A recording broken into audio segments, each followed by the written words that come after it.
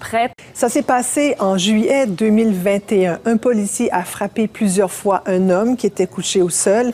Il y a eu une enquête menée par une équipe indépendante qui a conclu qu'il y a matière à porter des accusations criminelles contre le policier. Sarah, vous vous êtes penchée sur ce dossier. On peut rappeler que cette intervention avait choqué beaucoup de monde. Elle avait choqué beaucoup de monde et surtout, c'est qu'une vidéo avait circulé sur les réseaux sociaux, une vidéo qui montrait l'intervention. On va aller revoir les images et je vous avertis à la maison, ces images, elles peuvent choquer. Alors, dans cette vidéo, on voit un agent de la GRC qui donne des coups de poing à un homme au sol alors qu'il tentait de l'arrêter. Selon la GRC, à l'époque, l'homme aurait résisté à son arrestation. Alors, les autorités du Nouveau-Brunswick avaient commandé une enquête de la part du Bureau des enquêtes indépendantes du Québec. Ils avaient chargé d'enquêter sur, sur ces événements, de mettre la lumière. Alors, la Direction des services des poursuites publiques a déterminé que les éléments de preuve qui ont été fournis par cette enquête du BEI, bien, il y avait motif à poursuite judiciaire.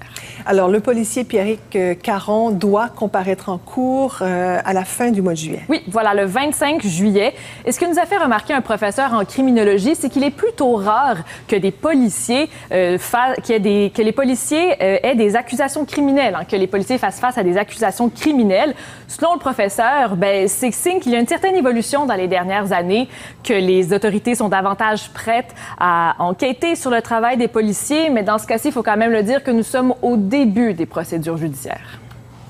Je pense qu'on est plus prêt à, enquêter de façon plus poussée et à, porter un regard plus neutre sur ce qui s'est passé et d'aller jusqu'aux accusations. Reste à voir, une fois des accusations portées, ce qui va arriver en procès. Est-ce que ça va vouloir dire au plan de, déclarer le, policier coupable ou non coupable?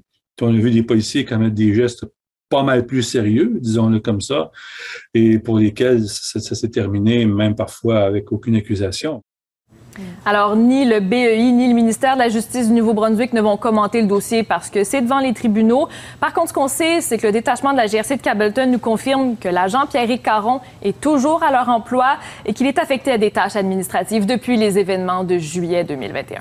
Et donc, sa comparution, c'est le 25 juillet à la Cour provinciale de Cableton. De exactement. Merci beaucoup, Sarah.